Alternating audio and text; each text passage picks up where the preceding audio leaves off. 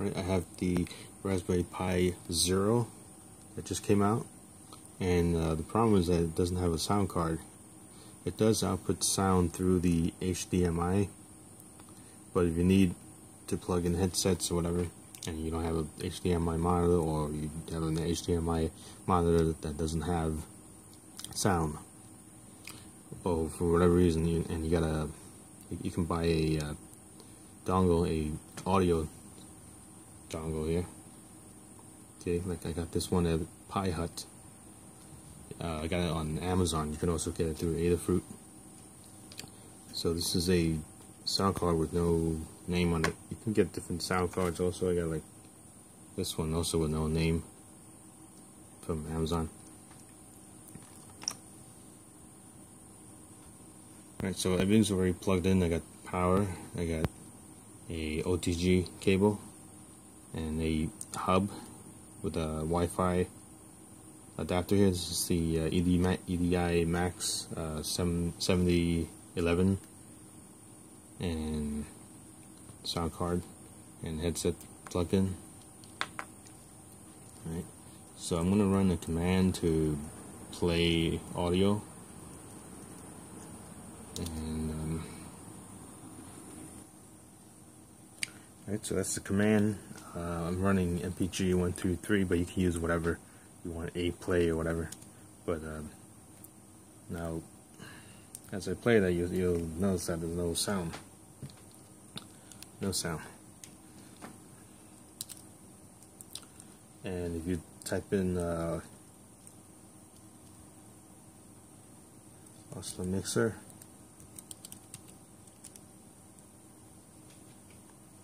and type in F6 and you'll see that it has the USB adapter there but it's it's uh, listed as card number one instead of card number zero. It's listed as the second card which is zero. Instead of one. All right so so it recognizes a card and thing is that it doesn't know how to use it. It didn't.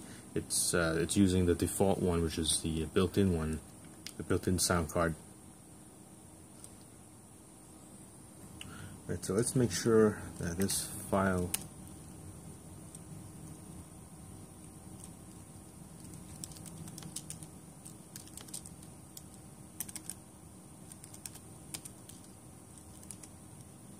in etc slash uh, modprobe there's a file called alsa-base.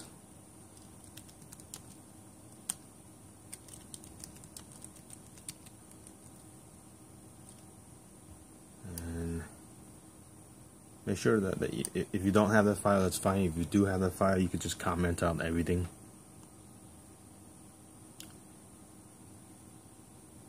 There's this line that I've seen people add or edit that um,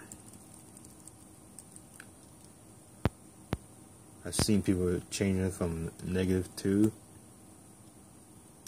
to 0 but I, I just commented it out and it's uh, working fine. So I make sure that that file is empty.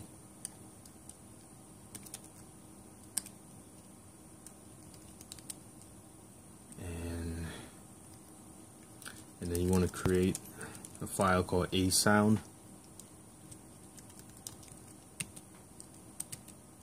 Okay, there's a file called asound that you could create. Uh, it's not there, so you're gonna create sound.conf, and what you gotta do is drop in these lines here. So what we're gonna do is we're gonna just gonna edit that. So it should be a it should be a blank file, and you should add these lines to it.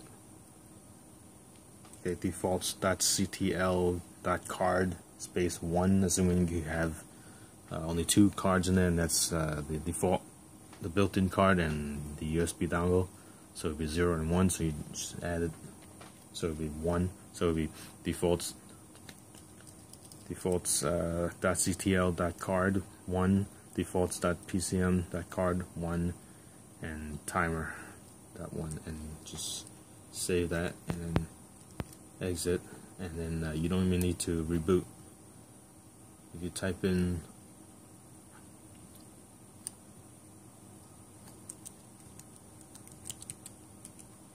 Auslan, you notice that it changed because it switched over to the uh, the, the um, USB card.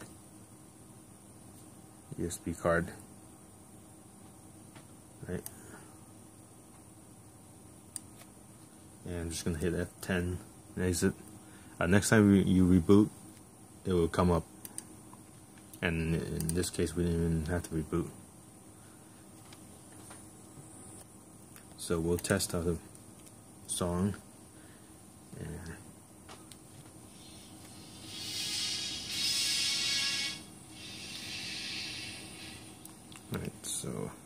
Plays music.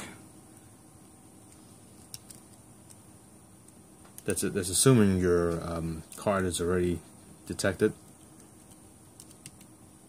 When you plug it in and it's detected, if you have the one that I have that I just got from um, uh, the Pi Hut or um, Adafruit, you should have it. That one is listed as uh, General Plus. Uh, you have this one. This is also a common one. There's just C-Audio.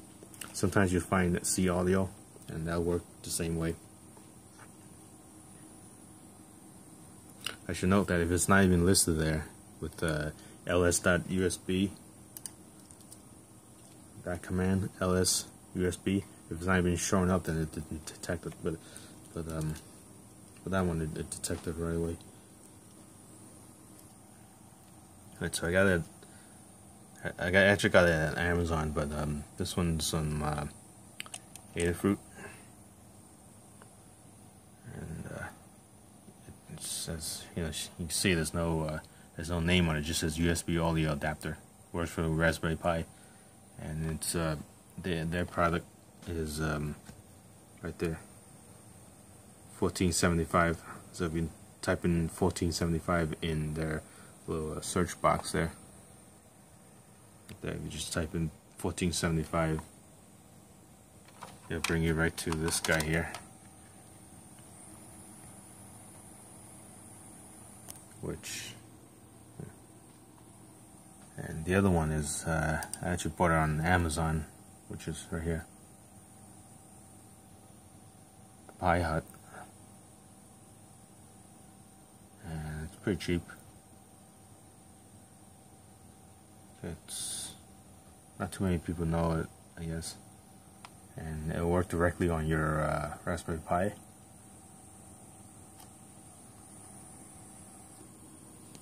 Alright, so thanks for watching.